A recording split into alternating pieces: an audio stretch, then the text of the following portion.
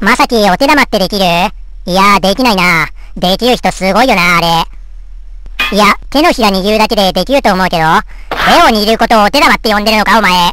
他にないでしょ。あるわ。手元でボールみたいなのをぐるぐる回す遊び。バスケットボールでやるやつそんなにでかくねえよ。せいぜい野球ボールサイズだ。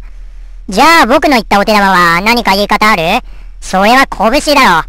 拳って小さい鰹節のことじゃないの？あれいや、小さい鰹節だけ別の呼び方あったりしないだろう。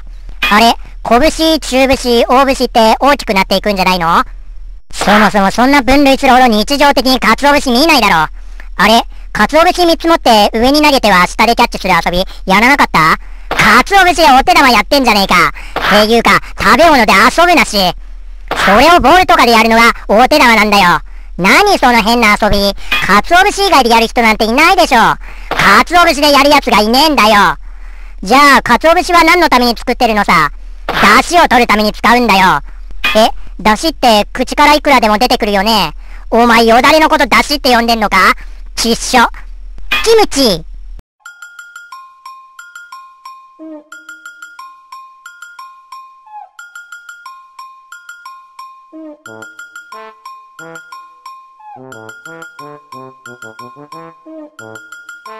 Mm-hmm.